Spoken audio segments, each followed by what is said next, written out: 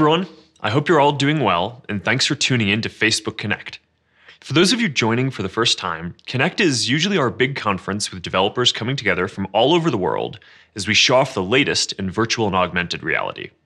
Now, things are a little different this year, but we've got some exciting new things to show you, and I'm really looking forward to it. But first, I just want to say that I hope you are all staying healthy, safe, and good during this time. For a lot of us, COVID means living more of our lives online. Going to school, working, hanging out with friends. Uh, more is happening online now, but, but it's not quite the same.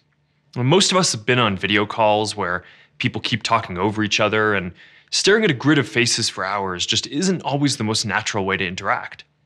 What we're missing is this feeling of presence the feeling of actually being right there with someone else, with all of the different sensations that that includes. So that's what the whole fields of virtual and augmented reality are about delivering that sense of presence. And that's why a lot of people have been spending more time in VR since COVID hit. I know I have. You know, it's a way to get out there even when you can't leave your house and to see your friends and feel connected even when you're physically apart. And with all the heaviness in the world this year, it's also a way to have some fun and, and find some moments of joy. I've definitely been playing a lot more with, with friends recently, especially games like Echo VR, which is, is kind of like playing full contact frisbee in zero gravity space. Uh, or Arizona Sunshine, where you can stand back to back with your friends as you fight off wave after wave of zombies. I've also been enjoying Keep Talking and Nobody Explodes, which is this great party game where you're in VR and you have to defuse a bomb with the help of your friends who are outside of VR and uh, they're helping you solve the bomb's puzzles. And it gets hilarious pretty quickly depending on how helpful uh, or not uh, your friends are. Now, if you've tried experiences like this, uh, you know just how magical it is to be together in one of these worlds with your friends. And as the ecosystem keeps growing and the hardware keeps getting better and better, we're starting to see how whole new categories of experiences could take place in VR in the future. So I'm looking forward to showing you what we've been working on. But before we dive in, you may have noticed that this event got a new name Facebook Connect. And it's brought to you by a new group, Facebook Reality Labs. And that's because this work to build the next computing platform to deliver that sense of presence and immersion, and to make it the best platform for connecting with people you care about. That work increasingly requires us to extend beyond just our, our, Oculus virtual reality product lines to include a lot more of the work that we're doing into augmented reality, into all kinds of long term research, into more natural interactions like neural interfaces, uh, into home and other wearable devices, and into software development like what we're doing with Horizon and what we have done for the whole history of our company. So, uh, we have one group that pulled together all of our augmented reality and virtual reality efforts, which we are calling Facebook Reality Labs. And now we also have one event to discuss all of this work, which we're calling Facebook Connect. Our goal is to deliver the products and technology that let you feel like you're together with the people you want, no matter where you are or the physical distance between you. So today, we're going to talk about how we're going to get there. Now, first, let's talk about augmented reality. The goal here is to develop some normal size, nice looking glasses uh, that you can wear all day and interact with holograms, digital objects, and information uh, while still being present with the people and world around you. Maybe you want to just sit on your couch and have a friend teleport and have their hologram sit right next to you to play games or just talk or hang out. You know, maybe you're walking somewhere and you want directions, or you see something awesome and you want to share it without having to take out your phone. Maybe you don't want to have to carry your phone around at all, or have to worry about having it take you away from the moment. You're going to be able to do all of this with a pair of glasses. Now, there's still a lot of work that needs to be done on some of the foundational technologies. Later today, uh, we're going to share more about Project Aria, which is the first research device that we're going to be putting out into the world to help us understand the software and hardware needed to build our first consumer augmented reality glasses. And we're starting to put together all the different building blocks, including the, the input systems, the display systems, spatial audio. We have a team of computational neuroscientists and engineers working on non invasive neural interfaces and ways to use subtle gestures to control augmented reality objects in the world. There are still hard problems to solve. But this has the opportunity to open up a lot of new ways for people to connect, to work, learn, and play in the future. And we now have line of sight into how we're going to get there in the coming years. Now, in the meantime, uh, there's a lot that we can do today with the technology that we've already created in order to develop great smart glasses. They're not yet augmented reality glasses, but they're on the road there. So, a couple of years ago, I started meeting with some of the best eyeglasses makers around the world. And, and this journey took me to Milan, where I met with the founder of a company called Essilor Luxottica. They're the best in the world at making glasses, and they make Ray-Ban and Oakley, and they design and build frames for everyone from Armani to Versace. And after spending time with their team and visiting their factory, I knew that they were the right partner for us to help bring the best technology together with the best glasses. And of course, in the future, you know, people aren't all going to wear one or two different styles of glasses, uh, like we just have a couple of different kinds of phones. So we need to support a lot of different designs and styles, and that's what Luxottica does. Now, we don't have a product yet to share with you today, but I am excited to share that we have formed a multi year partnership, starting with building and releasing our first pair of smart glasses next year. Now, I can't go into full product details yet, uh, but they're going to be the next step on the road to augmented reality glasses. And they look pretty good too. This is going to be a big milestone in starting to integrate the core technologies into a regular glasses form factor and seeing how people use them. And speaking of that, the most important part of any AR product is the experiences it can deliver. And I'm happy with how the AR software ecosystem is coming together too. More than 600 million people use AR across our apps and devices every month. People are creating some really awesome things with Spark AR, which anyone can use to build AR effects for Facebook and Instagram. There's also AR shopping technology that lets you see how furniture is going to look in your room, or how makeup or glasses are going to look on your face before you buy them. We're already seeing some of the creativity that augmented reality can unlock, and I think that this is all just going to get a lot better as AR starts to become even more mainstream. Now, let's talk about virtual reality. We are continuing to build out the Quest platform with better hardware, software, and content. And we're starting to see more areas where VR provides a clearly better experience than other platforms. So take gaming. You know, I think Quest is already the best VR gaming platform, but it's about to get a lot better because a couple of years ago, we started working with some of the best game studios to produce AAA franchises for Quest. And today, uh, we're going to share some of this work from developers like Respawn, ILM XLab, Universal Games, and more. And we're continuing to bring even more of these games to Quest. This fall, Oculus Link is coming out of beta. And Oculus Link allows you to use a compatible gaming PC to play Rift titles on Quest. In the future, it's going to support 90 hertz for PC gameplay, and we're working on a new UI so you're going to be able to find all of your PC games right alongside your Quest apps all in one place. So that's coming next year, and it will give you access to a lot of native Quest features while you are using Link. Another important area is social products. We're building new social experiences like Horizon, which is now an invite only beta, and it lets you create your own worlds where you can go and hang out with your friends. Uh, we're also building experiences like venues, which I know a lot of you are using right now to watch this live stream. And I'm really focused on, on this area of, of social software because, as I've said a few times, I think that augmented and virtual reality are going to be the most social platforms ever. And we're really just scratching the surface on this right now. We're also seeing how VR can change work. Some of our Oculus teams already have their meetings in VR. And since COVID, I held my first management team meeting entirely in VR too. And I have to say, in some ways, it already felt more real than a video call because we had a shared sense of space. You know, I always find uh, that I have a harder time remembering discussions on video calls. Uh, because from a visual and auditory perspective, there's no shared sense of space. Everything just looks flat. But in VR, even before we have avatars with full fidelity and facial expressions, just having that shared visual sense of space and spatial audio, uh, that for everyone else in the room, the room and people's locations looks the same to everyone else. Um, you can hear where someone's talking from. It just makes a huge difference. Now, more people are going to work remotely in the future. Now, I think that VR is going to give you the ability to work from anywhere without having to feel a lot of that separation that current remote work setups bring. Now, Facebook has already said that for our company, we expect 50% of our employees to work remotely long term. So we're invested in building out the tools that we need for our own people to work from anywhere, and then we're going to deliver them to the world. There are other advantages to VR for work too. Like you can design your own perfect workstation with infinite screen space and ability to teleport between different teams and projects easily.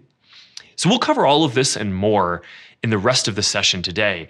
Uh, but before I sign off, I want to show you something new that we've been working on. And for this, uh, we're going to need Boz, who heads up Facebook Reality Labs. I've been keeping him pretty busy during this lockdown, and here's a quick summary of some of our conversations over the last period.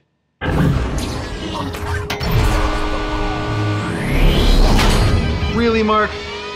I mean, that's five in a row. I told you I've had a lot of practice. Been spending a lot more time in VR. Does he ever sleep? You know, Quest is awesome, but I've been thinking, know, people love it, but there are a few places where we could make, Make it, it better. better. I mean, the screen's great, but I wonder if we could get 50% more pixels in there to make it even crisper. Uh, yeah, I'll see what I can do.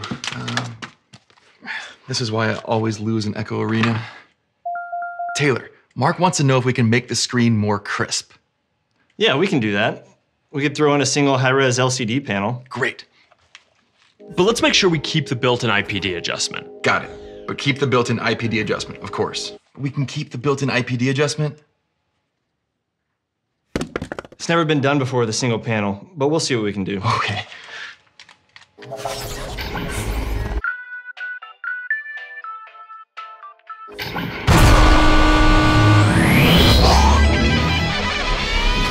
I also think we could try to make the whole thing lighter. Let's try to cut 10% off the weight.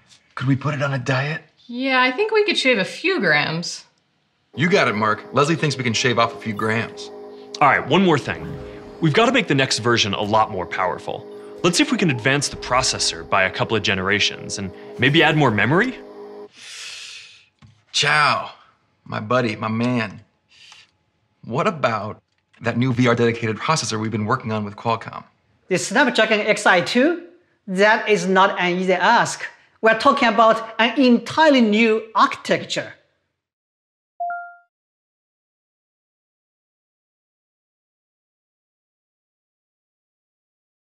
Mark, you're, you're on mute.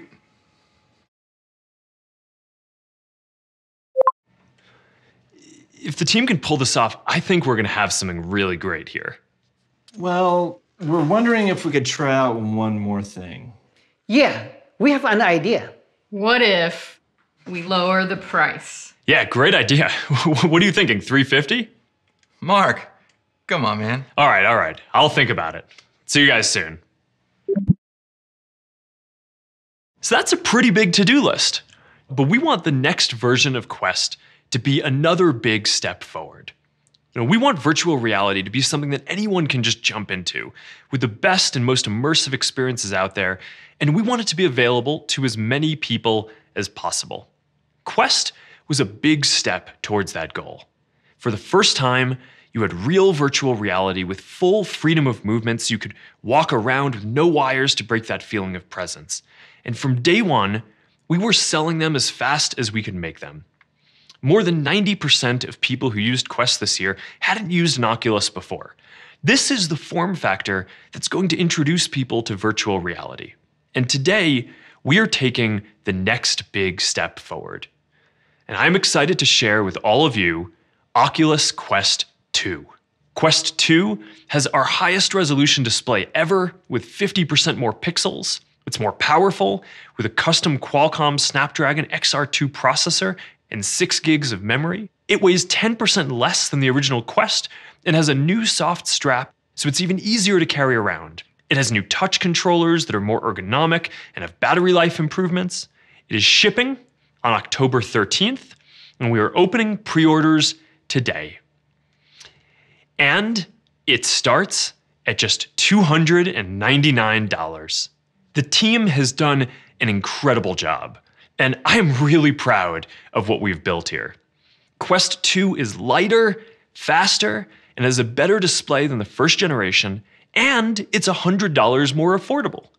It is fully wireless, and it has hands down the best content library of any VR system out there. Now, there are a bunch of improvements that we have made to the hardware. We've been working on this with Qualcomm for years, and Quest 2 is the first major consumer device that runs on the Snapdragon XR2 platform. It's fully customized for VR and AR with support for multiple cameras and technology like fixed foveated rendering. And the end result is a more immersive experience with crisper graphics, more dynamic environments, and ultimately uh, just a more realistic feeling of presence. The display is better. Instead of two OLEDs, Quest 2 has a single LCD for super high resolution visuals, and a new system for adjusting the optics that makes it easier to dial in the visual settings that are right for you. We've redesigned the touch controllers with more efficient tracking and optimized haptics. The new controllers deliver a better feeling of hand presence and stronger physical feedback. And for apps that don't use our full hand tracking, this is going to make a better experience all around. And we've also been making a lot of software updates too. For example, you know, a lot of people have been using VR uh, for fitness. It's probably one of the most fun ways to get in some quick cardio. And you know, I mean, Beat Saber is, is a bit more motivating than a treadmill most mornings. So we've built in a system level fitness tracker that helps you keep tabs on just how much exercise you're getting while playing some of your favorite titles. It's called Oculus Move, and it lets you set VR fitness goals and track them across different games and apps. And we're also experimenting with real time stats and in game overlays, and we're going to start testing this out on Quest later this year. Now, these are just a few of the improvements that make Quest 2 the best all in one VR experience out there. And I've really been enjoying using mine during this lockdown, and I'm looking forward to getting these in more of your hands in just a few weeks. Now, I want to make sure that I give a special shout out to everyone in our developer community and all of you who've been on this journey with us.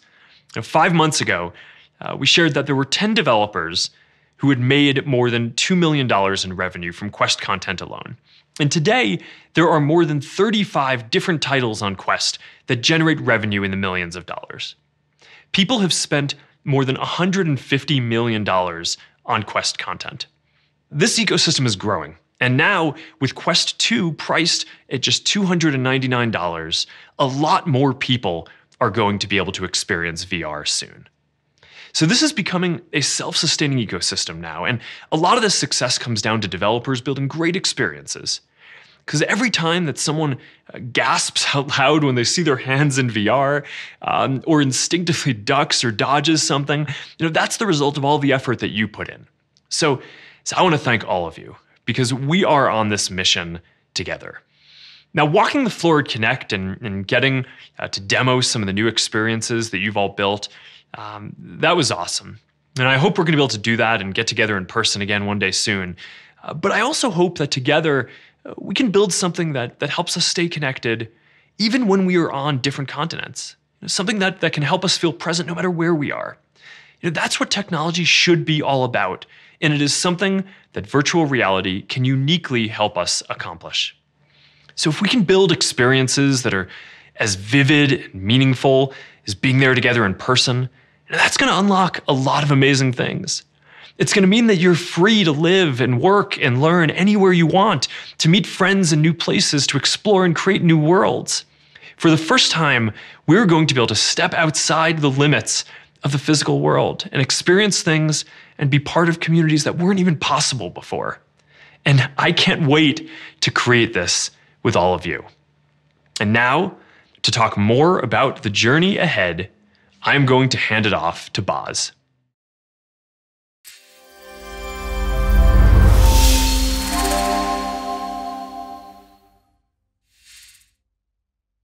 Thanks, Mark. At Facebook Reality Labs, we often say that we see AR and VR as the next step in computer evolution. From mainframes to desktops, desktops to laptops, and laptops to smartphones, these are what comes next. But why? Why do we say that? What right do we have to make that claim? And the answer, I think, goes to the very heart of what computers are and what they're for, and why a social media company acquired a virtual reality company, and why our VR conference is called Connect in the first place. I mean, everyone knows that computers are, are useful. I mean, they help us accomplish tasks more efficiently and, and accurately. But from the very beginning, they've also had another important purpose to connect people. An early computer scientist to make this case was Doug Engelbart, famous for the mother of all demos, where he debuted things like the mouse, the graphical user interface, and hyperlinked text. But he also debuted shared document editing and even video conferencing way back in 1968. Along with his friend Stewart Brand, Engelbart understood that the coming computer revolution was about more than better technology. It was about finding ways to help people share ideas and experiences with each other at a distance. Now, that demo in turn inspired the groundbreaking work in places like Xerox PARC, Bell Labs, Stanford Research Institute, and others who made it possible for you to watch me on your computer today. Now, these institutions were the inspiration for our recent name change to Facebook Reality Labs. Like computers, I believe augmented reality will be useful, but I also believe our work on it is what will make it transcend the distance between people. Especially now, during this time of social distancing, I know how much it means to me to be able to spend time in digital spaces with my parents and kids when we can't be in the same room. Millions of people across the world know what that's like too. And that's why, over the past year, our conviction about the importance of meaningful social presence has only grown, and why we remain committed to a world where emotional connection is no longer contingent on physical proximity, where interaction at a distance is just as enriching and sometimes just as demanding as interaction in person. Now, VR is the first half of that vision. And as all of you know, we've come a long way. I mean, I remember my first demo. It was a it was Toy Box. You know, you you pick up a virtual dart gun and you could blast targets that were off floating in space, and it was very simple, but the potential struck me immediately.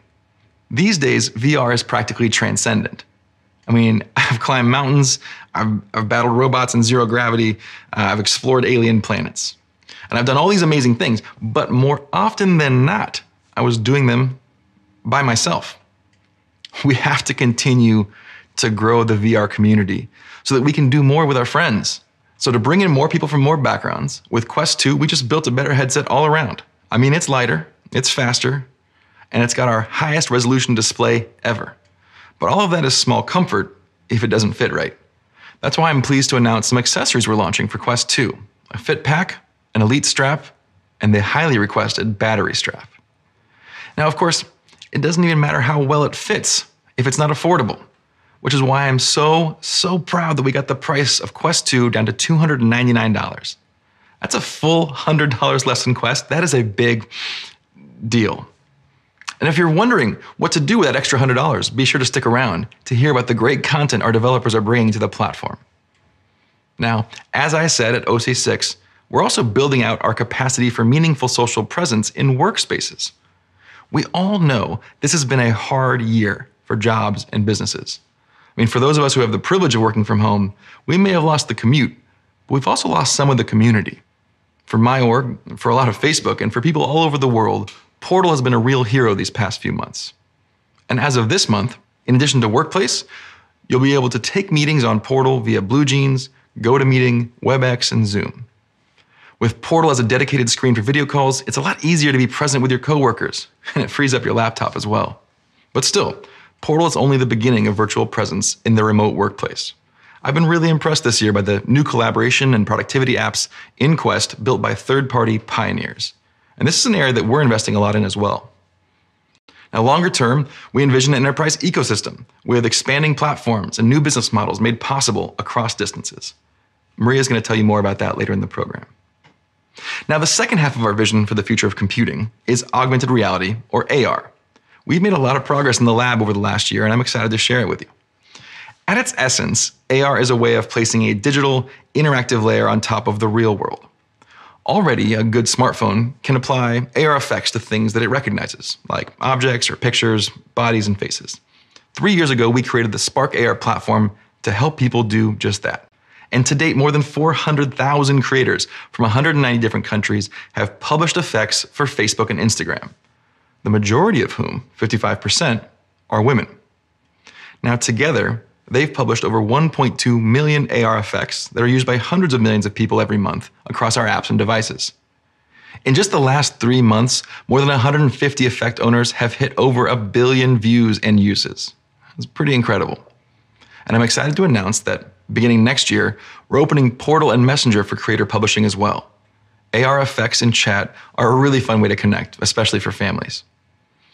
Now, the behaviors that we see validated today are going to help us build a better AR tomorrow. And the promise of AR is the promise of an information rich world where your capacity for knowledge, reason, and awareness is expanded well beyond your physical capacity to see, know, or recall. Now, in some ways, we already live in that world. I mean, we can do a lot with a smartphone and a good internet connection. And yet, and yet there's just so much more we could be doing. Our digital experiences are still mediated by heads down, eyes down handheld devices. At Facebook Reality Labs, we ask ourselves what if that was no longer the case? What could the future hold that's even better than this? Imagine a pair of glasses that could give you a 3D overlay of everything without having to look down at anything. This is a world where you accept a friend's phone call and a hologram appears right in your line of sight, where you're walking into a new city and the glasses not only give you directions, but they also help you spot hazards that you can't see. You want to understand a foreign language? The world translates itself for you. Now, sometimes we talk about the benefits of AR like they're superpowers. And they are. But not everyone has the same abilities. So, for a lot of people, maybe for most people, it's going to be simply empowering. Now, before you get your hopes up, I am not here to announce V1 of our fully functional AR glasses. I'm sorry to say we're just not there yet. But I do have the privilege of sharing with you some of the work we've been doing in the lab. As Mark alluded to earlier, this is Project Aria. Now, these glasses are a precursor to working AR. It doesn't display any information inside the lens, it's not for sale, and it's not a prototype. It's a research device that will help us understand how to build the software and hardware necessary for real, working AR glasses. Starting in September, some specially trained Facebook employees and contractors will be wearing the glasses in real world conditions, indoors and outdoors. Their sensor platform will capture video and audio, eye tracking, and location data, all to help us answer some of the questions that we need to ask before we release AR glasses to the general public. The first question is about hardware. What do we put on the glasses? I mean, think of all the things necessary for AR to work outward sensors that can interpret the world, inward sensors that can track your eye movements and know where to show you information, and computers to process just all of that. And then, assuming you could fit everything you need into a pair of glasses, how would they perform under different light conditions or different weather conditions? Which sensors can you do without? And where might you need more? These are questions we can't answer in the lab. So, like all good science, we have to put our theories to the test. Another question we have is about data. I mean, there's a lot of data sets about the world from the point of view of satellites or, or even automobiles, but there aren't a lot of what's called egocentric data sets. How do we program software that understands what the world looks like from a first person point of view? And more to the point, how do we balance what data we need to collect and process in the first place? At OC6, I introduced Live Maps, our effort at creating a shared virtual maps that are drawn from crowdsourced information. Basically, a 3D spatial internet. If we can design glasses that can both build and use live maps, we can deliver an AR experience that requires as little data as possible. Michael Abrash will share more later about the technical aspects being worked on in the lab. But before moving on, I'd like to show you guys a video we produced with the research team that introduces Project Aria.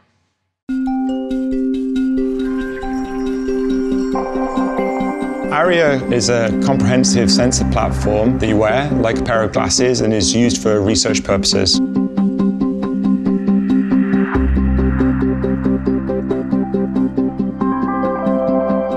At the beginning of ARIA, we actually evaluated many form factor. The hat, the bracelet, but we settled on the glasses because it could give us the closest human perspective. If you really want a system that is socially aware in a sense, it perceives the space like people do, You've gotta look at the world from a human point of view.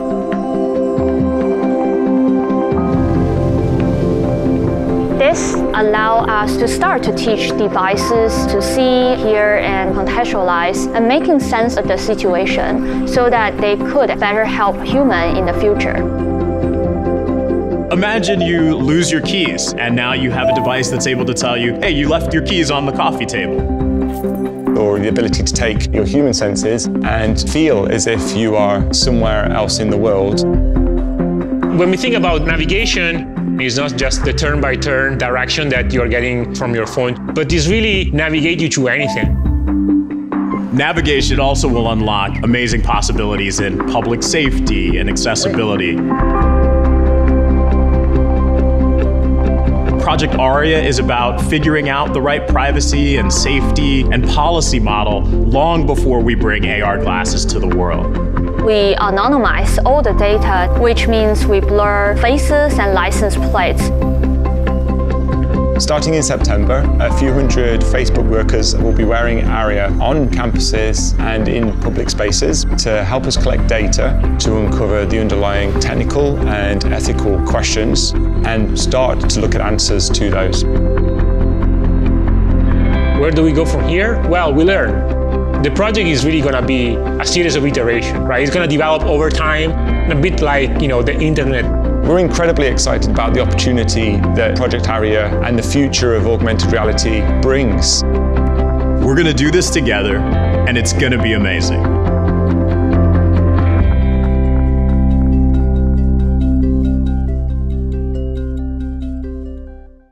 Now, as the video mentioned, in addition to the technical complexities we're navigating with Project Aria, we've also been working to answer some questions about how and when the glasses should be used. New technology often has unintended consequences and negative externalities, and our job is to get ahead of ours. AR glasses will be cool, but they shouldn't be rose tinted. In order to wear the research glasses, people will undergo training on when and where they can gather data. Sensitive places like restrooms or prayer rooms are obviously off limits. Before data we collect in public is used for research, that data is quarantined and faces and license plates are blurred. Like a mapping car, all participants will be easily identifiable by their clothing. You can find more details about Project Aria online, and we'll continue to use the lessons we gather to inform how we build and launch AR in the future. More generally, though, all of this is about operationalizing a set of principles for responsible innovation that guide our work in the lab. At Facebook, principles are not just a list of nice things. They describe trade offs, things that we do even when the opposite might benefit us somehow. So, for example, when we're building, we should be transparent about how and when data is collected and used over time so that people are not surprised. We will build simple controls that are easy to understand and clear about the implications of a choice. And we build for all people of all backgrounds, including people who aren't using our products at all, but may be affected by them. We think about this a lot in the context of Project Aria. And we strive to do what's right for our community, individuals, and our business but when faced with these trade offs, we prioritize our community. Moreover, because we recognize the limits to our own understanding, we're working with third party experts to expand our sphere of input. As part of these efforts, I'm happy to announce two RFPs for over a million dollars around the principle Consider Everyone. This research will focus on the impact of AR, VR, and smart device technology on non users, especially non users from underrepresented and vulnerable communities, as well as best practices for fostering welcoming and inclusive environments in 3D spaces. You can find out more here. We've also been socializing these principles with experts across the privacy, safety, and AR VR community, and they've told us they're happy we wrote them. But talk is cheap. Trust is earned and not given. And we stand ready to be judged by what we do and not what we say. I want to give a special shout out to the tireless teams at FRL delivering meaningful social presence across a lot of different products under very challenging conditions. The future of technology is bright, and I'm so proud to work with all of you. I mean, I've been excited about this technology for a long time. Just like the labs that inspire us, we hope that our lab can play a role in helping shape the future. The need for this technology is all around us in 2020. Sheltering in place has only intensified my sense of urgency for this work. Every day away from my loved ones grows my conviction that this technology is important. But as excited as I am to introduce this to the world, I'm even more excited to use it myself. I mean, I miss seeing my family, my friends, my colleagues, and all of you. Be safe, and we hope to see you next year, one way or another.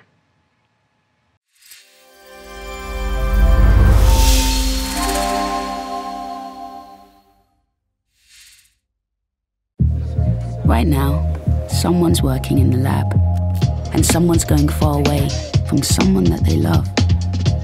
but someone's working in the lab. So someone who is far away can be with who they love each day. Right now, some genius who's eight years old is dreaming of a degree in a distant place beyond the sea.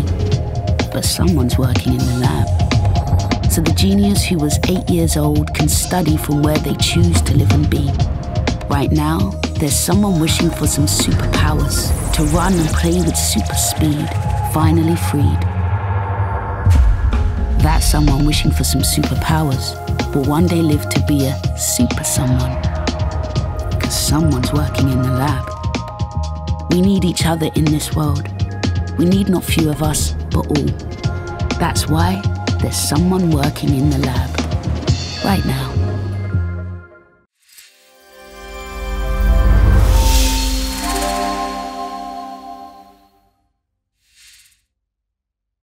Right now, connecting with friends in VR is more important than ever.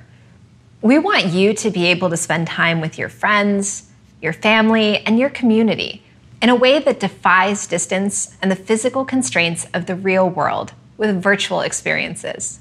I'm Meaghan Fitzgerald, and this time last year, I shared our plans for Facebook Horizon, a social experience where you play, create, explore, and connect with others in an ever expanding virtual world. Since then, we've been working hard to bring Horizon to everyone. A small group of early users and creators have been giving us feedback, and they're already building fantastic and incredibly creative worlds. And just last month, we opened the invite only beta and began bringing people off the waitlist to join us in Horizon. And we're excited for more of you to join us soon and experience some of this.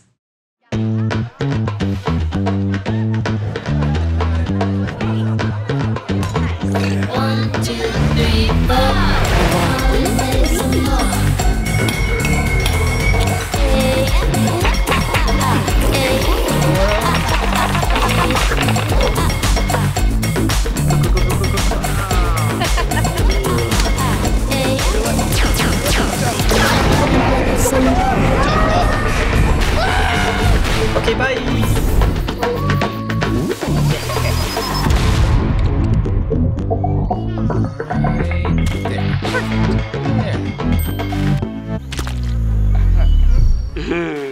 Or not.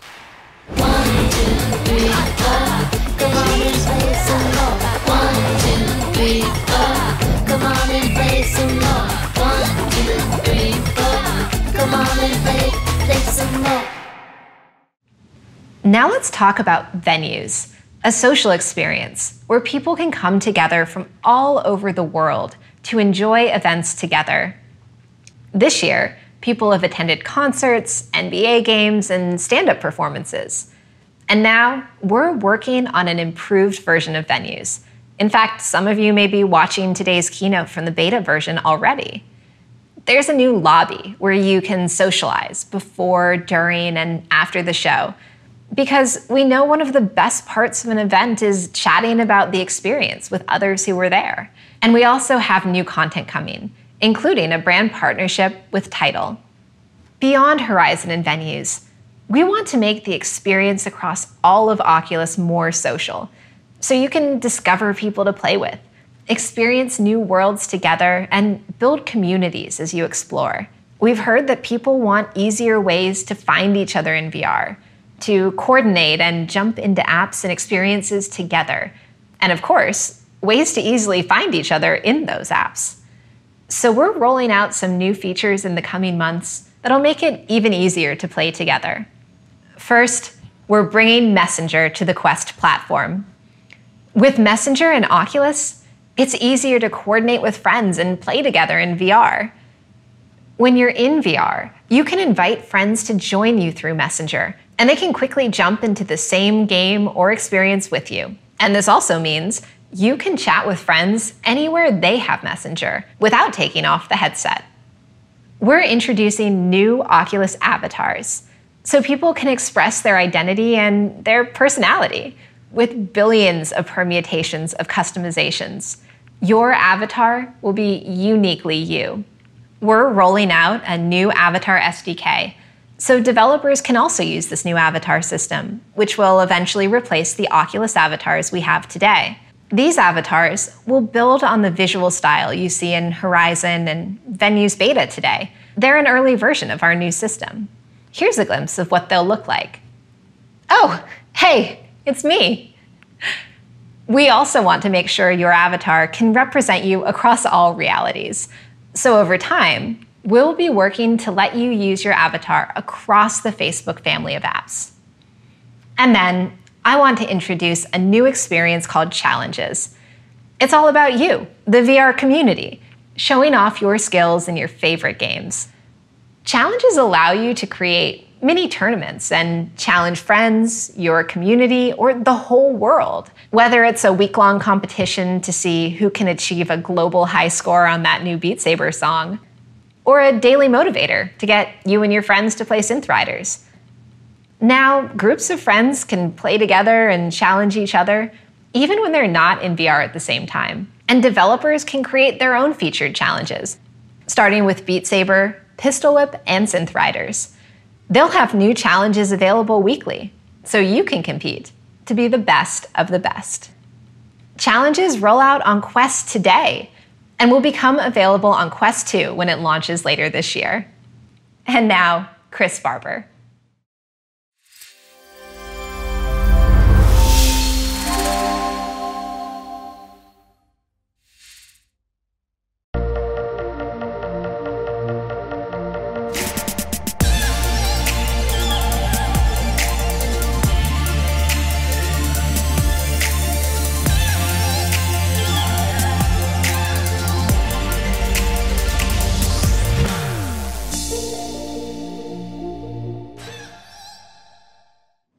Hi, my name's Chris Barber, and I work with the team that built Spark AR.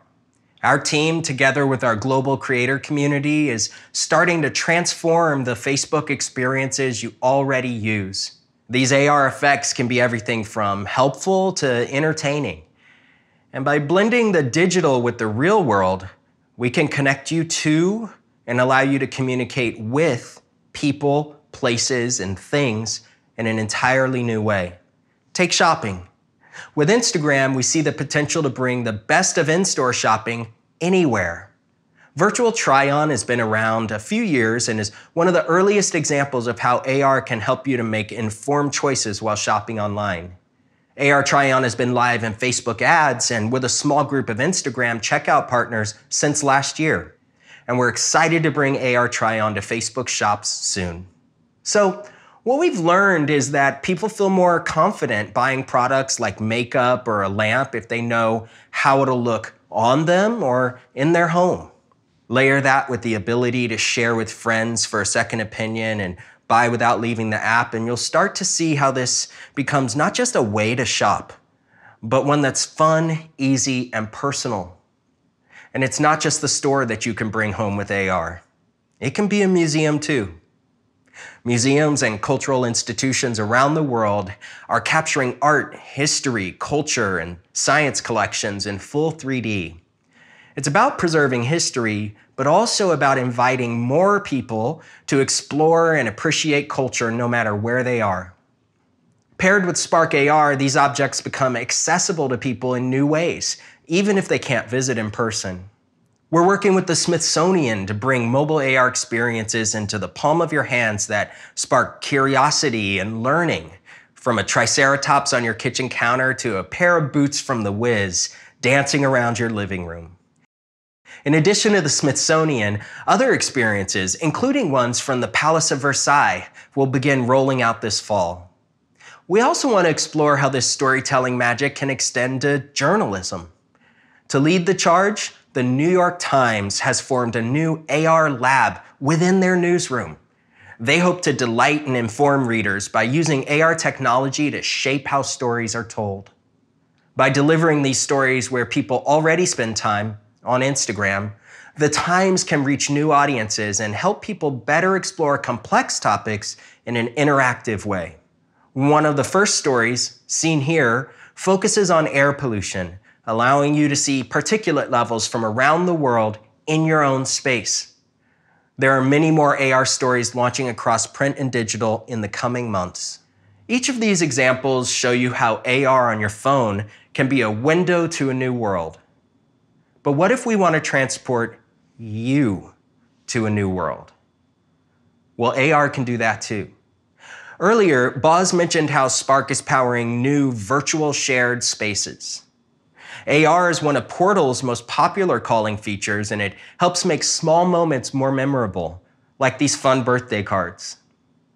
Families can share in the joy of reading with story time. Rather than turn pages, AR brings the illustrations to life and actually lets the reader become characters in the story. Every day, parents tell us this makes a world of difference. While kids may not sit still for a phone call, story time can help families carve out a few special minutes with that relative who lives far away.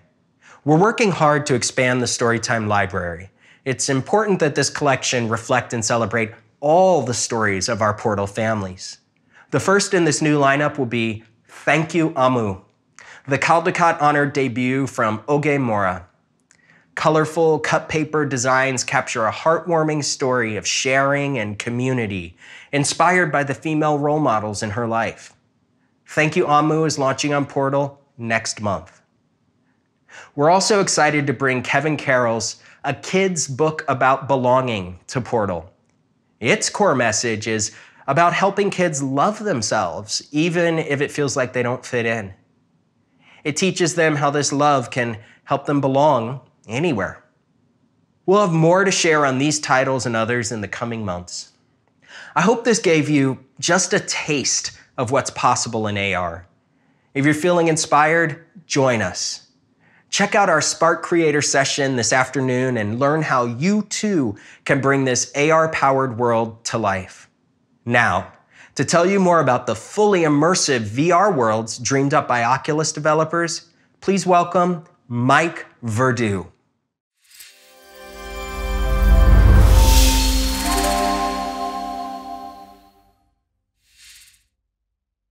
I'm Mike Verdu, VP of Content. We are excited, encouraged, even stunned by the progress that VR has made in just 12 short months. So many wonderful Quest titles have launched in the last year, creating a catalog of rich, vibrant experiences.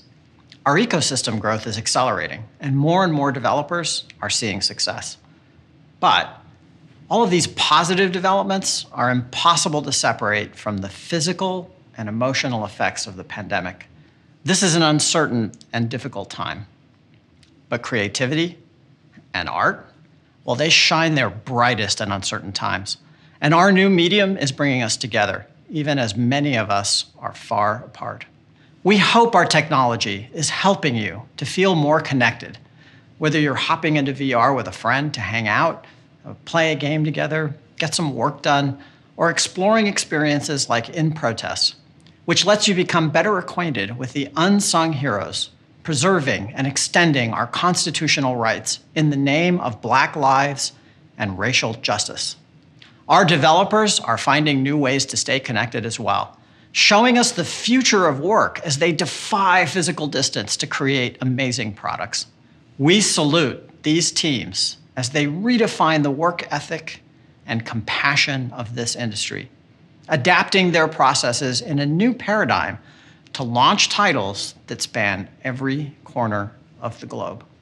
So, five months ago, we shared that 10 developers had made over $2 million in revenue from Quest content alone. Today, I'm happy to share that over 35 titles on Quest have generated revenue in the millions since launch, and they're doing it faster than ever before. This summer, Onward's Quest debut made a million dollars in revenue in just four days, faster than any other title on the platform. And Five Nights at Freddy's Help Wanted reached a million dollars in just eight days. These are powerful milestones that show how more and more teams are able to pursue continued VR development and see a return on investment. And as a result, there is an acceleration in creativity in all categories, from games to productivity, collaboration, fitness, education, and others. The coming year will be an exciting one. We have some major announcements as we continue growing our slate with the launch of Quest 2. So let's dive into this exciting new content. Hi, I'm Elizabeth Loverso, Vice President of Product Development at Ubisoft's Red Storm Entertainment. Ubisoft is pioneers in new technology. We're early investors in new consoles and tech, and we've been creating VR experiences since 2016 with titles like Eagle Flight, Werewolves Within, and Star Trek Bridge Crew, which are all available on the Oculus platform. And today, we are excited to announce our first AAA franchises for the VR market, which are Assassin's Creed and Splinter Cell. For the first time ever, fans will be able to live these beloved franchises in a truly visceral way. Development of Assassin's Creed and Splinter Cell will be led by Ubisoft Red Storm in collaboration with Ubisoft Reflections, Ubisoft Dusseldorf, and Ubisoft Mumbai. Both titles will be created from the ground up exclusively for the Oculus platform and will include elements of both the Assassin's Creed and Splinter Cell franchises that players know and love. We are excited to share more about these projects with you. Stay tuned. Thanks for kicking us off with that awesome news. Hi, everyone. I'm Ruth Bram, and I've been a producer at Oculus for over six years, helping our developers make games and entertainment experiences for our platform. So let's talk about Quest. In addition to exploring the Quest content library with Quest 2, you'll be able to dive into original experiences with even greater scope and superior quality, thanks to the advanced capabilities of this new hardware. So I've asked a few of our developers making awesome games with Quest 2 to join us today and share their exciting news. Hi, everyone. I'm Jose Perez III, Director of Star Wars Tales from the Galaxy's Edge. At ILMxLAB, we've been hard at work crafting tales and expanding the world of Black Spire Outpost, which was created by our friends at Walt Disney Imagineering. After the award winning success of Vader Immortal, we wanted to follow up with something lighthearted and a little more open a project that will expand over time. So, we'd like to invite you to explore the wilds of Batuu. Danger lurks around every corner, but it's nothing you can't handle with the help of specialized training droids and a good blaster at your side. Or you could always just hang out in the cantina. The bartender, Seezelslak, might not make the best drinks, but he can tell a story that will literally transport you to a different time and place in the Star Wars galaxy. One of these tales will put you face to face with an iconic and powerful Jedi, Master Yoda. Before we go, let's take a sneak peek at one of the characters you'll join forces with along the way. Someone, anyone, please help! My counterpart R2D2 and I were on board a parts supply vessel bound for Batuu, but it was attacked. You needn't worry. I am a highly trained resistance spy. Dear! You'll do what? Oh, don't be silly. You'll never make it. My circuits have had quite enough of the wilds for one day. Hi, I'm Chia Chin, founder and CEO of BigBox VR. We've been working very hard on Population One, a battle royale that is only possible in VR. I'm excited to share with you that it's coming soon to the Quest and Rift platforms, and you'll be able to crossplay between headsets. What makes our game special is our vertical combat system. You have the freedom to climb anything and fly anywhere in a fully immersive VR world. After launch, we will have ongoing live in game events, so you will always have something fun to do with your friends. I can't wait for you to jump into Population One with us and I'll see you in the game.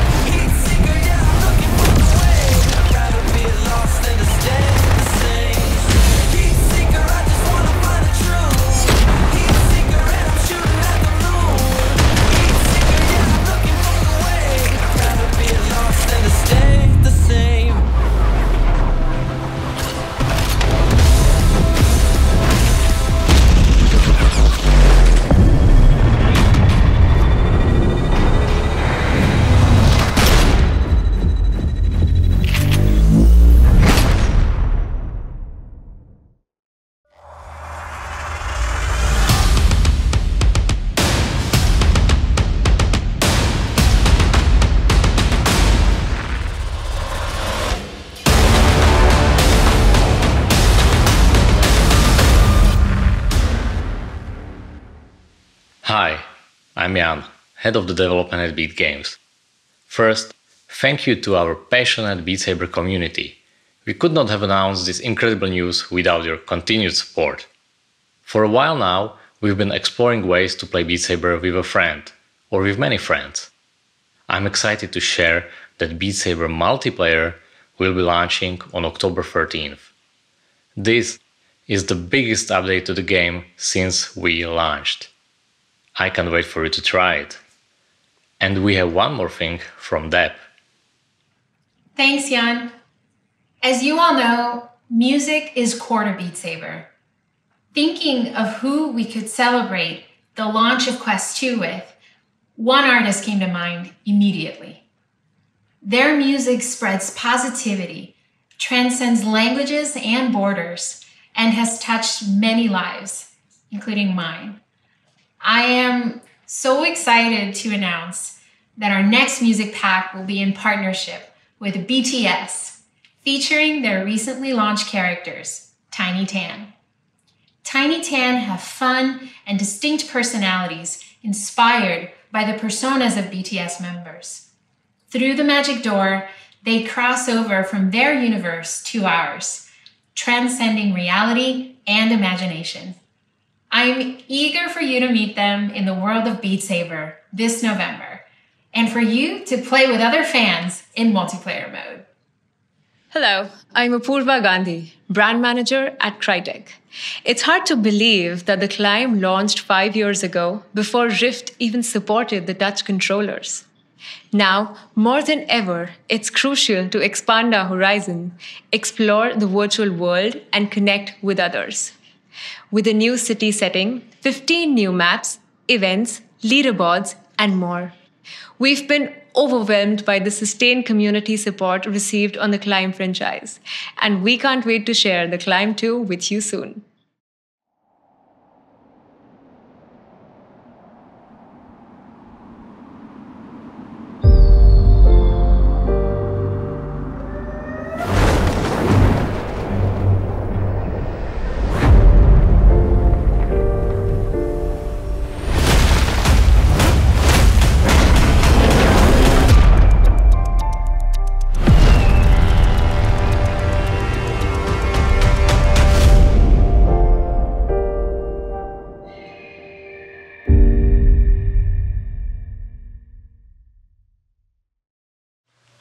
I'm Brian Gomez, executive producer on the Universal Games and Digital Platforms team. Here at Universal, storytelling's at the heart of everything we do, and we're always looking for new and innovative ways for our fans to experience the worlds we create. We're excited to do exactly that in partnership with Oculus and Coatsink by bringing you Jurassic World Aftermath. It's a thrilling survival adventure built from the ground up for VR. Experiencing Jurassic World in VR is a special kind of wish fulfillment. Set two years after the fall of Jurassic World, Jurassic World Aftermath lets you race through Isla Nublar, retrieving valuable information while being stalked by deadly velociraptors at every turn. You're going to need to think quick, solve puzzles, and use all of your survival skills to get out alive. So here it is, your first look at Jurassic World Aftermath.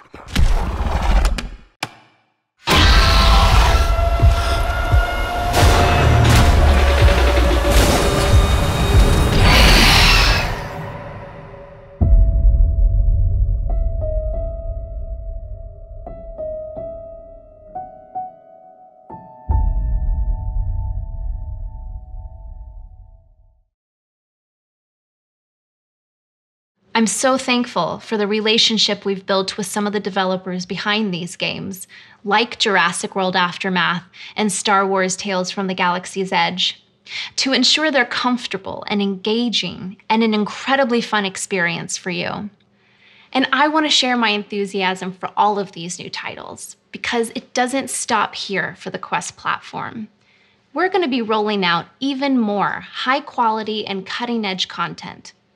So let's take a look at some of the other titles coming to Quest. The Adepta Sororitas are brought to life in jaw dropping, visceral reality. Embody these merciless women as they root out corruption in the war torn world of Warhammer 40k Battle Sister. This holiday season, Pistol Whip will debut 2089, a gritty and cinematic sci fi expansion where you'll set out to survive an off world plague of killer machines with all new weapons and music. In over 25 years since its creation, Myst is being reimagined for VR. Solve puzzles and travel through the ages in this graphic adventure classic. Then get ready to fight the undead and face gut wrenching choices for you and other survivors in The Walking Dead Saints and Sinners. And coming soon, keep to the shadows and take aim in Sniper Elite VR. Japan is home to a community of early Oculus adopters and has a strong history of game development. As we prepare for the launch of Quest 2, we've been fortunate to partner with well known Japanese developers and have committed significant and long term marketing and development budgets to Japanese developed titles. So we're bringing Oculus to Japan in a bigger way than ever before, with Quest 2 available in more stores and with more content. At launch, you'll see games like Kizuna AI, Touch the Beat from Activate, Rez Infinite from Enhance, Space Channel 5 VR Kinda Funky Newsflash from Grounding, and Little Witch Academia VR from Universe. And later on, we're also looking forward to bringing our Japanese audience titles like Alt Deus Beyond Chronos from My Dearest, Puzzle Bobble from Survios and Taito Corporation, and many more. Now you're probably asking, what about PC? We know that PC gamers are looking for a best in class experience. And that's why they've embraced Rift as the gold standard for high fidelity gaming. But now we've got something that offers you an even better experience than Rift. Quest 2 plus Link gives you a higher resolution at a lower cost and future support for higher frame rates up to 90 Hz. It's the best way across the VR industry to play PC VR content. So if you have a VR ready PC, you can use your Quest 2 plus Link to play upcoming Rift titles from our talented indie developers, and also upcoming titles like Lone Echo 2 and Medal of Honor Above and Beyond. Hello there. I am Peter Hirschmann, the game director of Medal of Honor Above and Beyond. I am terrible at making videos like this, so please bear with me.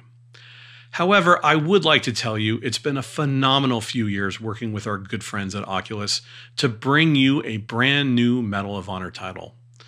In Medal of Honor Above and Beyond, we're putting you in the boots of a World War II soldier so we can tell the stories of ordinary people doing extraordinary things in the face of overwhelming odds. I'm happy to announce that Medal of Honor is shipping December 11th on Rift.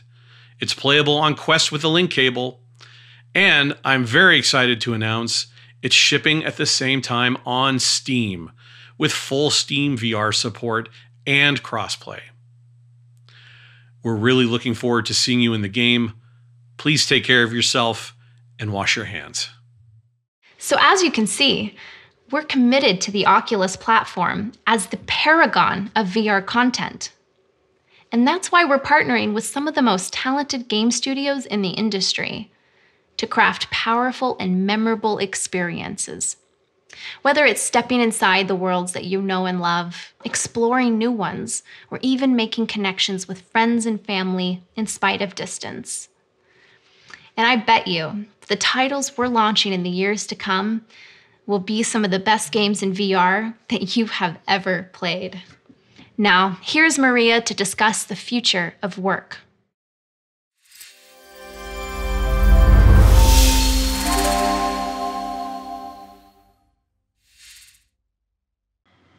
Last year at Oculus Connect, I shared a vision for our VR enabled future of work where we could work from anywhere. I said it will take years, probably, before we could make the vision a reality. But then, nearly overnight, around the world, everything changed. And suddenly, we were forced to learn what it means to work remotely. And we experienced the joys, like being able to have lunch with your family every day, and the challenges, like building new relationships online, collaborating on complex problems, and sometimes feeling lonely. We are relying on a mixed bag of ways to connect email, video, chat. They all work, okay. But VR has the potential to get us closer to what we know we can achieve in person and a lot more. Our vision remains the same, but we have accelerated our efforts to get there. Whether you're on your own, running a small business, or at a Fortune 500, we think VR can help you work better. We are learning every day from the creative ways people are using VR. Scientists, for example, are doing collaborative drug discovery from home. We definitely need that right now. And every day, more companies ask whether VR could be good for them too. That's where Oculus for Business comes in. It already offers professional features like fleet management or enterprise grade support. It's built on Workplace, our solution trusted by companies of all sizes, from SMBs to the world's biggest companies. We offer business friendly ways to log in to the headset, like workplace accounts or no account at all. We are rolling out resources to help companies get started and for developers to meet this growing demand. This includes a new vendor directory and business channels designed specifically for app distribution directly to administrators. Quest 2 is going to be great for all types of work. It is lightweight and ergonomic, so it's more comfortable for longer work sessions. New accessories like our Elite strap with battery are designed to increase comfort and extend battery life. Compared to Quest, Quest 2 is packed with better processing power, so you can run heavier apps more smoothly. There's also a higher resolution display, so you can read text in docs and presentations more easily. On their own, these features are exciting, but combined, we will push standalone VR to new limits. We believe VR will be your next computer, a better way to surf the web, play games, chat with friends, and collaborate with your colleagues across distance. But before we can connect you to others, we need to help you on your own get things done. I'm so excited to introduce Infinite Office. Now, when I say infinite office, I am not talking about that feeling when you have been like working from home for 14 hours straight, although that might feel infinite. This is something else. Check it out.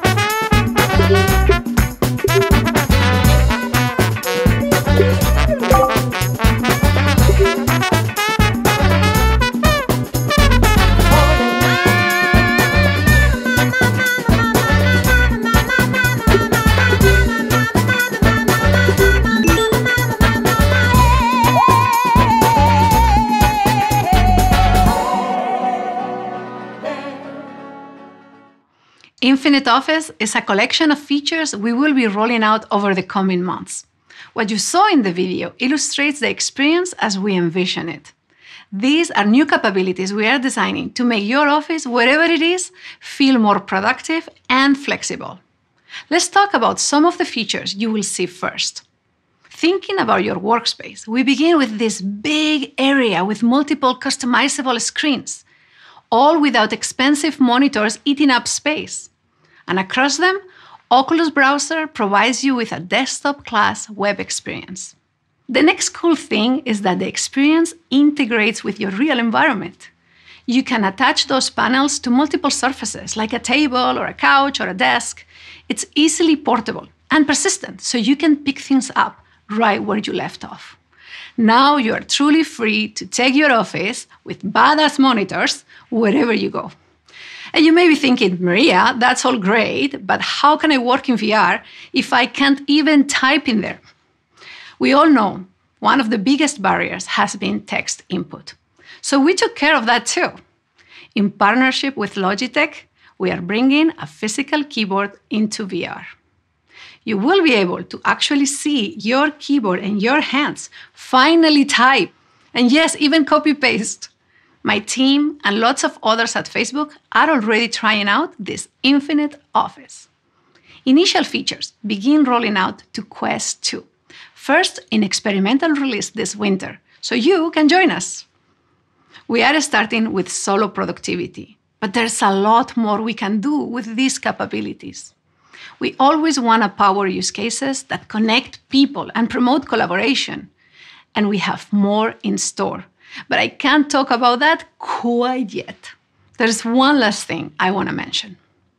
We are committed to putting these technologies in the hands of developers too. And we have already started. Check out this prototype we did with Spatial that layers pass through with their collaboration app. That's just a glimpse, and we'll have more to share next year. It is amazing to see how far we've come since launching Quest only last year. But if you want to know where we're headed, and who doesn't, Michael Abrash is just the person to show you.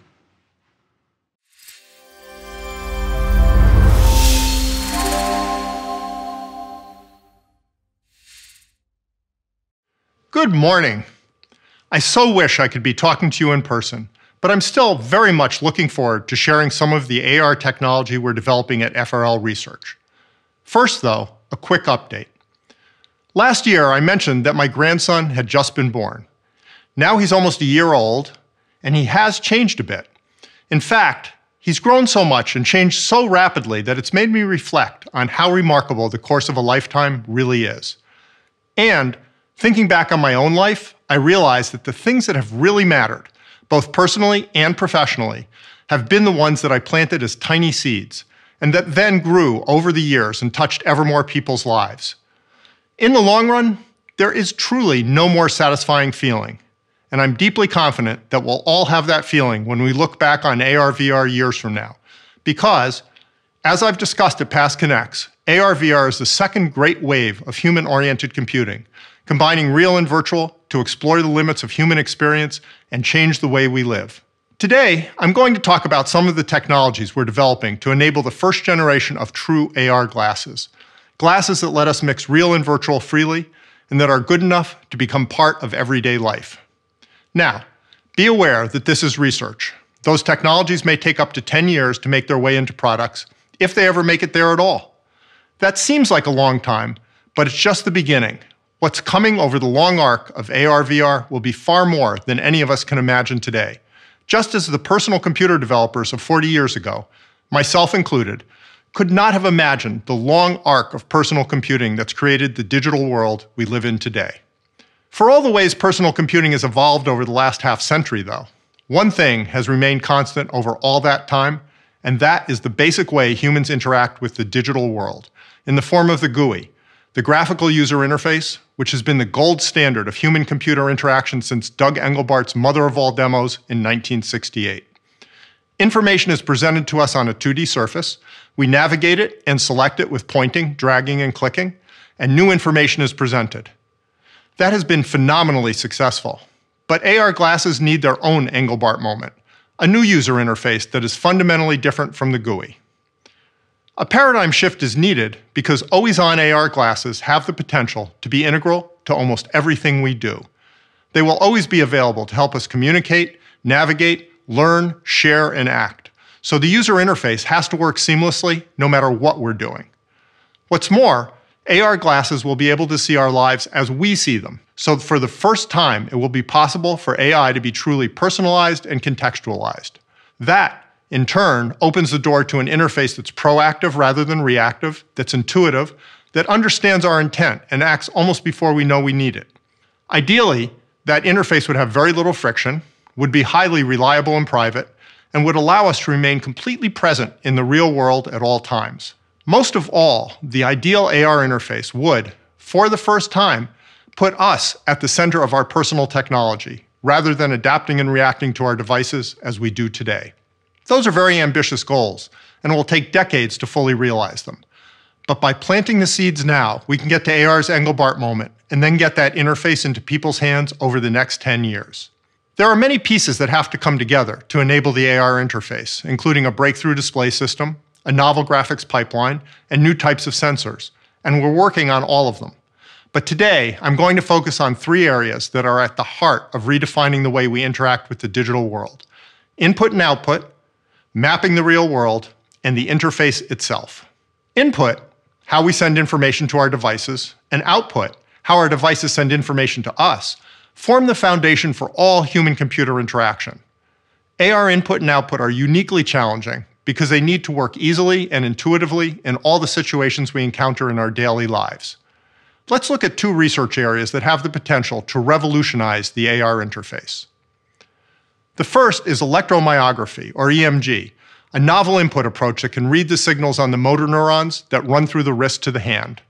EMG is still in the research phase, but the CTRL-labs team that joined us last year is advancing the state of the art rapidly, as we can see in this video.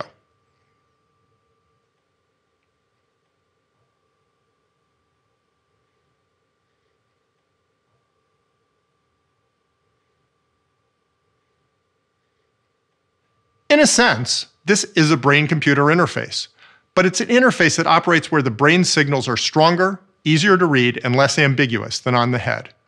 In fact, the signals through the wrist are so clear that EMG can detect finger motion of just a millimeter, so input can be very discrete.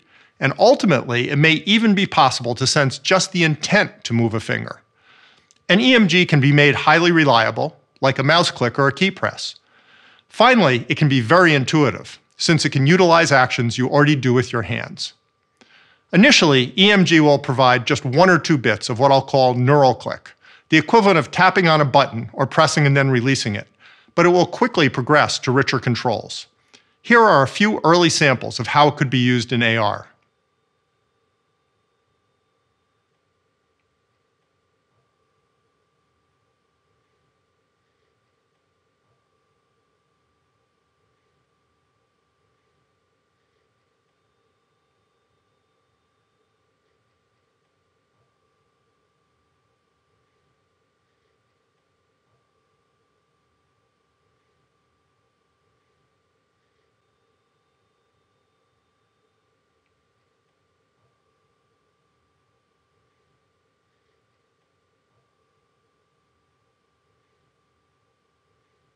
Pretty cool. But that's just the beginning. It's highly likely that ultimately we will be able to type at high speed with EMG, maybe even at higher speed than is possible with a keyboard today. Initial research is promising, as we can see in this video.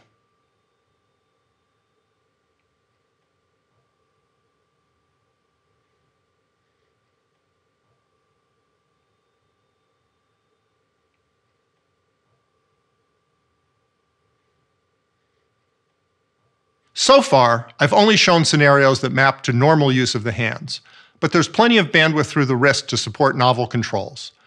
Imagine you put on an EMG bracelet and a Quest and look at your hand, and you have a sixth finger. You start to flex your hand and quickly gain independent control of that new finger. Then you take off the Quest, but you can still use that finger to click. Totally discreet and highly intuitive. Pretty much the ideal one bit input. Is the brain that neuroplastic?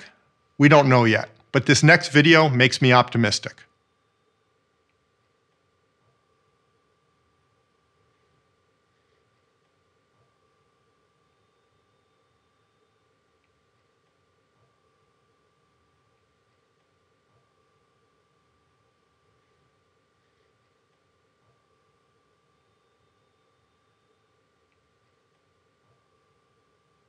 That person was born with the limited hand functionality you saw, but it took him only five minutes to learn to control the virtual hand.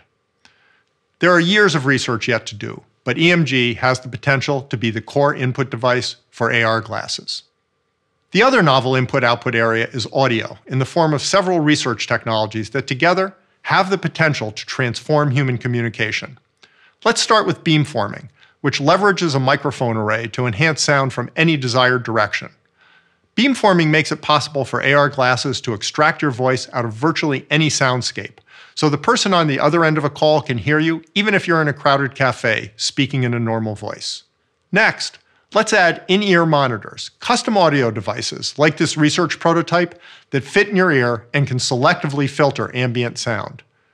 Now, when you get that call in a noisy cafe, the glasses can mute the ambient noise so you can comfortably hear the caller.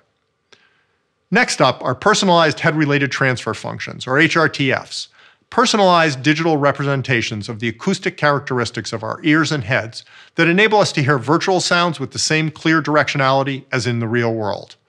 Now we can place virtual callers in specific locations near you, so conversations become much more natural and easy to follow.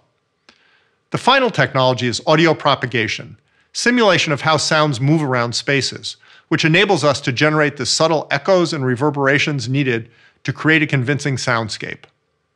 Put all those technologies together, and virtual conversations can be indistinguishable from real ones, even when you're in a noisy environment. What if you're trying to talk to someone who's actually there with you in that noisy cafe? Just turn on beamforming, point the glasses at the person you want to talk with, and the glasses will pick out that person's voice and mute the ambient noise. If they have AR glasses too, direct glasses to glasses transmission will enable you to have a natural, relaxed conversation. This is all research right now, but when it's product ready, AR glasses will give us audio superpowers. Let's walk through a scenario of how audio superpowers could enhance our lives. First, let's see how the scenario would work with today's technology. By the way, you'll get the best experience of this audio section if you listen with headphones or in Oculus venues. Okay, let's say you go to that noisy cafe and want to study. The noise makes it hard to concentrate. Then a friend comes in. You try to talk, but it's hard and tiring due to the noise. Sorry, Sarah. I didn't mean to make you jump. I didn't see you come in. Parking took forever. I had to circle the block. Another friend comes in, and it's even harder because now you're not always looking at the speaker when they start to talk. And seeing mouth movements is a big part of how you understand speech in noisy environments. I am late, guys. Let me guess. Parking? Yes, I had to battle for the last spot. What did I miss? Finally, a friend video calls in. You all crowd around a phone and try to hear what they're saying on speaker, and they try to hear you over all the ambient noise. Perfect. Hang on, let me flip the camera. How awesome is this? They do these amazing balloon bouquets. They're beautiful. Millie would totally love that. Oh, did you find a birthday cake to jump out of? What? Not a very satisfying experience. Now, let's see what it's like with audio superpowers. You sit down to study in the cafe and turn on ambient muting. It's easy to focus. A friend comes in. They have to tap you on the shoulder to get your attention, Oh, sorry, Sarah. I didn't mean to make you jump. I didn't see you come in. But then you turn on beamforming and they come through clear as a bell. And their voice sounds like it's coming from them, not from a speaker. Parking took forever. I had to circle the block. That's okay. I was working on the list. I see that. It's clearly labeled Millie's surprise party. Another friend joins you. You hear whoever you're looking at clearly, although sometimes when the speaker changes, you miss a few words until you turn your head. Party after all. Sorry I'm late, guys. What did I miss? Wait, where's the Yes. Parking? Mark is looking for a birthday cake to jump out. battle for the last spot? Wait, where's Mark? Finally, a friend calls in. You answer, conference everyone's glasses in, and you all talk freely. That's him now. Hey, Mark. Leslie and Danny are here. Perfect. Hang on, let me flip the camera. How awesome is this? They do these amazing balloon bouquets. They're beautiful. Thanks to your personalized HRTF, you can pick a specific location for your virtual friend's voice, just like your friends who are there in the flesh have a physical location. It's a lot like sitting around a table in your own dining room. Millie would totally love that. Did you find a birthday cake to jump out of? The second scenario still isn't perfect, but it's vastly better. and later on, we'll see how to make it pretty much perfect. Let's shift gears now and look at machine perception, a very different but equally important aspect of building the AR interaction model of the future. This is similar to, but more far reaching than computer vision, in that it involves your AR glasses not only sensing the state of the world around you, but also building a detailed, dynamic, persistent 3D map of the parts of the world that are relevant to you, and developing an understanding of everything that map contains. Let's look at what that means and what it implies. The foundation of AR is the ability to have persistent, shareable virtual entities of all sorts embedded in the real world, including such things as whiteboards, screens, CAD models, notes, pictures, rooms, outdoor settings, and avatars. The ability to have virtual entities is like a magic wand that lets you customize, annotate, and enhance your world, and share that with others however you wish. None of that can happen without a detailed 3D map of the parts of the world that are personally relevant to you, for several reasons. First, virtual objects have to be world locked to be useful and convincing. That is, they have to remain steady with respect to the real world, just as real objects do. That requires accurate and robust tracking of where the head is with respect to the world. Now, head tracking alone doesn't require a detailed 3D map, just a current set of environment features to track. However, it gets trickier if you want world locked persistent objects. How can they persist without some sort of database to store their locations? That becomes even more true when you want to share virtual objects with other people. That requires a common coordinate system, and again, there's no general solution other than indexing into a shared 3D map. And then, if you want to be able to share space with a convincing avatar of a friend who lives in another state, not only are precise location and orientation needed, but also knowledge of the things in the space around you, so the avatar doesn't end up cut in half by a table and can be placed in natural poses, such as sitting in a chair. So, both a selectively shareable model of the parts of the world that are relevant to you and an index of everything in that model are necessary in order for AR to mix virtual and real effectively. Finally, a 3D map of the world is necessary in order to allow AR glasses to run all day within a very tight power and thermal envelope. It would take far too much power if the glasses had to constantly reassess their context from scratch. So instead, they'll download the most recent data from the map and then only have to handle dynamic changes, which are propagated back to the map. The end to end machine perception platform we're building that enables all of this is called Live Maps. Live Maps consists of a stack of three primary layers. The bottom layer, location, provides an accurate frame of reference for the locations of the wearer and their surroundings. That might not sound like much, but establishing highly accurate, always available, consistent, shareable 3D location and orientation in a way that can scale is in fact a tremendous challenge. The index layer builds on location to create a detailed 3D map of all the physical surfaces, structures, and objects in the parts of the real world that are relevant to you. This is a unique personal map based on your own location history, although parts may be shared. To the extent that you and others choose to allow, for example, public places could be globally shared. Index does quite a bit more than just provide static geometry, though. It also identifies objects and provides metadata about them, such as appearance, mass, modes of use, interaction with other objects, and dynamic motion. The index layer can tell you what kind of tree you're looking at, where you left your keys, and how many calories are in the sandwich you're about to eat. And it can predict the landing point for a tennis ball in flight. Finally, the content layer stores locations of virtual objects that are anchored to the real world, indexing them into the map. So the three layers together enable us to have virtual entities freely mixed with the real world. But, powerful as that is, it's only one of two ways that Live Maps enables the full potential of AR glasses, and the content layer is the key to the second. Content is actually a somewhat misleading name because the information the top layer stores is much broader than what is usually thought of as content. A better name might be the personal ontology layer.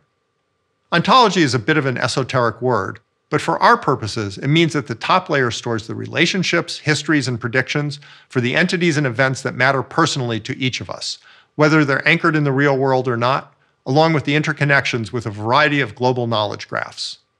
It might store a virtual vase you have on the dining room table, but it also might store non geolocated information such as the name of your favorite Thai restaurant, or the people who have RSVP'd for your party next week, or the ETA for your flight to Atlanta. And it links those nodes to knowledge graphs that define the concepts of restaurant, party, and ETA. In short, It's the set of concepts and categories, and their properties and the relations between them, that model your life to whatever extent you desire, and it can, at any time, surface the information that's personally and contextually relevant to you. So the location layer says where things are. The index layer says what's known about physical things. And the content layer says why things, physical, virtual, and conceptual, matter to each of us personally. You will have your own set of layers based on your unique life experience, so Live Maps will effectively be a virtual model of your life up to that moment. And that is the foundation for the second key aspect of machine perception a truly personalized and contextualized AI assistant. To date, assistants have been able to understand relatively little about your personal context and needs, but that changes with AR glasses. Now, by querying live maps, an assistant can observe your world from an egocentric view, the same way you see it from a first person perspective, and that is the basis for true human centered technology. Obviously, we're a long way from that now. In particular, we don't have the necessary egocentric training data. So the question is how are we going to bootstrap this breakthrough AI assistant? Which brings us to Project Aria. Project Aria is a research effort built around the custom glasses you see here that is designed to record high quality egocentric data, which in turn will enable researchers to advance the state of the art around machine perception and personalized, contextually aware AI. Project Aria is not in itself an AR device since it lacks a display, and it is neither a product nor a prototype of a product and will not be for sale. It is a research tool, and it is a critical step on the path to live maps and the interface of the future. One way to think about Project Aria is as an evolution of the methods which were used to build maps in the past. Since the 1960s, satellites have allowed us to map outdoor environments at tremendous scale, but they're limited in the map resolution and freshness they can produce. Low flying aircraft and car fleets provided data capture at a higher resolution with increased update rates, but they're limited to outdoor environments. Backpack rigs can now map indoor spaces at high resolution, but are unable to fully capture the wide range of environments relevant to our daily lives. Project Aria is the vanguard of the next leap in data capture technology client based mapping which will one day enable anyone with an AR device to build and use live maps wherever and whenever they need to, based on data from their own devices, particularly AR glasses. The use of egocentric data will make it possible to construct higher resolution maps that are dynamically updated at a much higher frequency, and will enable mapping of a far greater spectrum of environments than has been possible with any previous mapping technology. In addition to enabling state of the art research into map building, Project Aria will let researchers explore what data AR glasses will need to capture in actual use, and how AI can most usefully leverage that data to provide personalized assistance. Let's take a look at each component of Project Aria in closer detail. At its heart, Project Aria is an all day wearable computer and sensor platform with a powerful mobile class processor, all wrapped up in an ergonomic glasses form factor weighing under 70 grams. The device is controlled by the wearer using a mobile companion app, which communicates via an encrypted low energy Bluetooth link.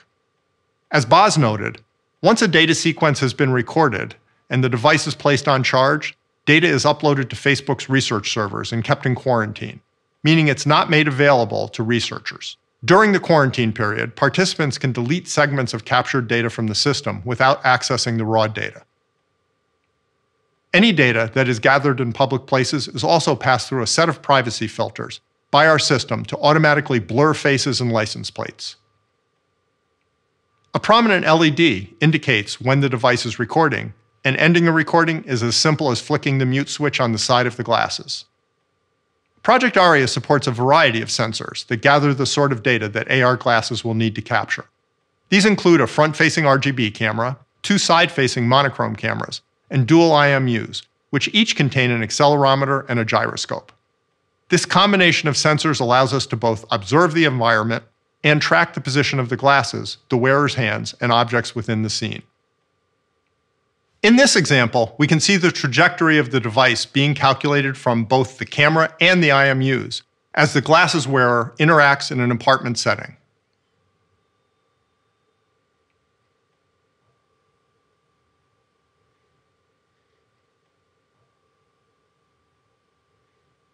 In addition to sensors to visually observe the world, Project Aria supports seven directional microphones for spatialized audio capture and two inward facing cameras to monitor the direction of the wearer's gaze.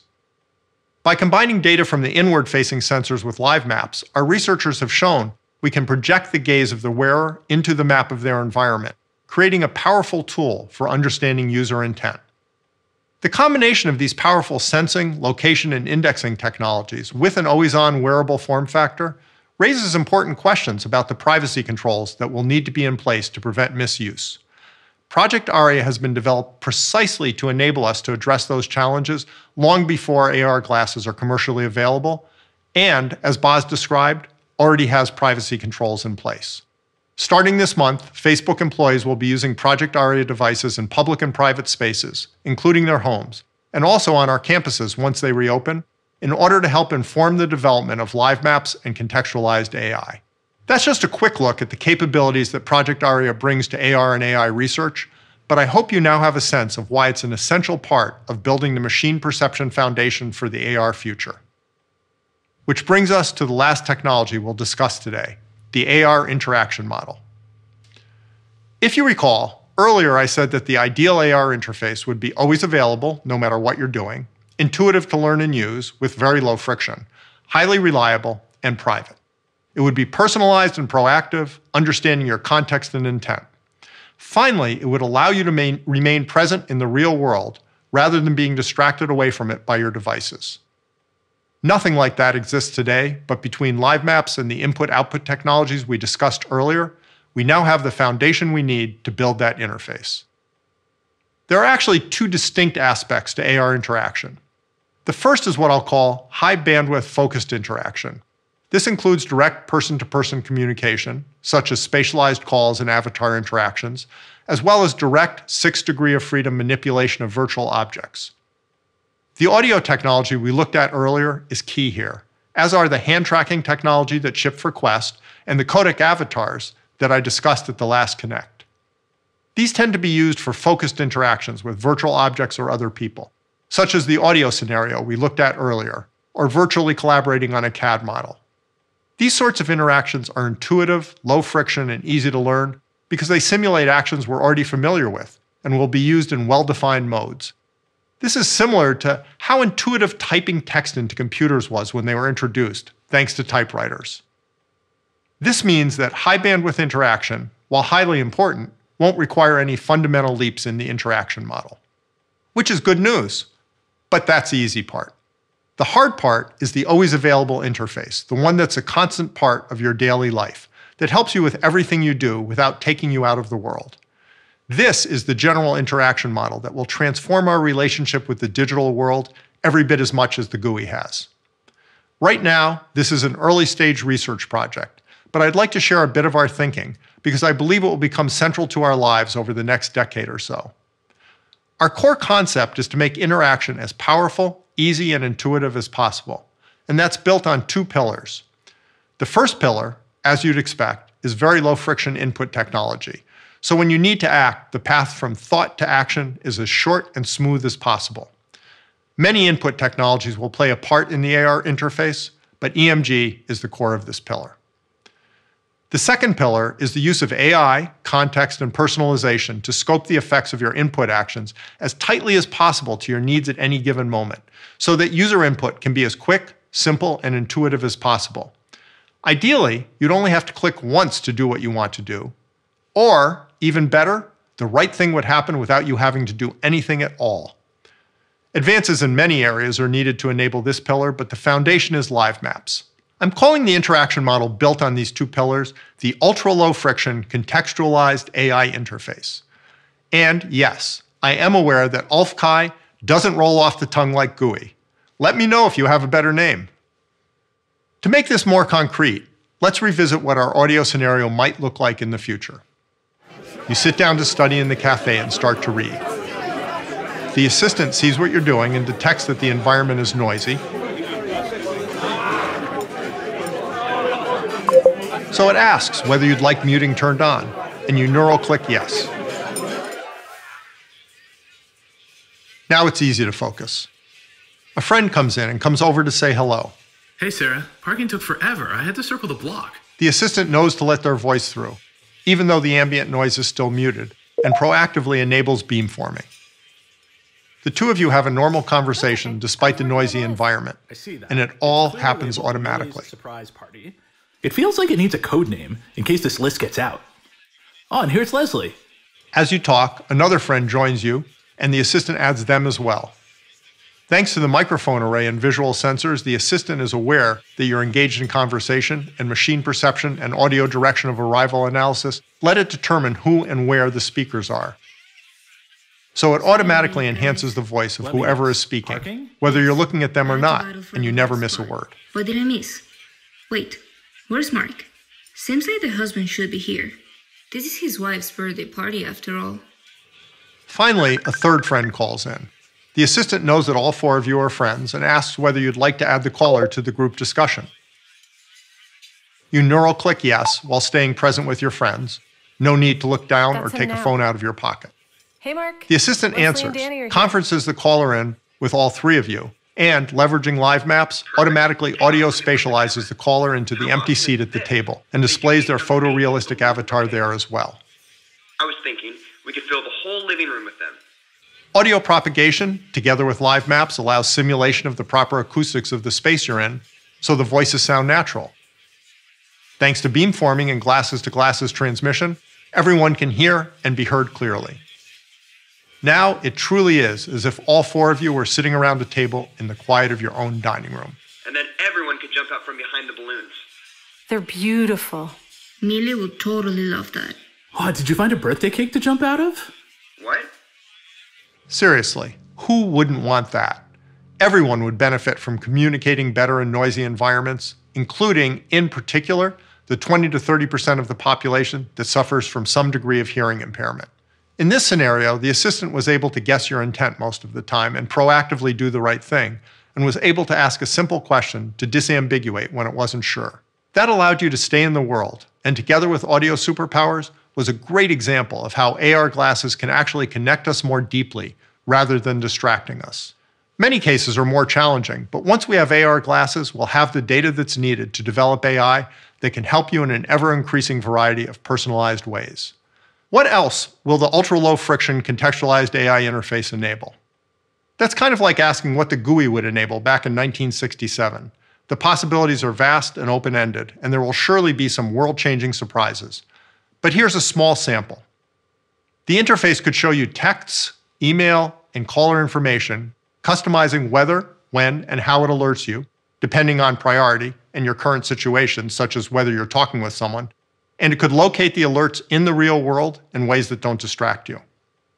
And it could automatically connect calls from people it knows you want to talk with, as if they had walked up to you and said hello. It could act as your camera assistant, freeing you up to enjoy the moment. It could enhance contrast in low light or for people with poor vision.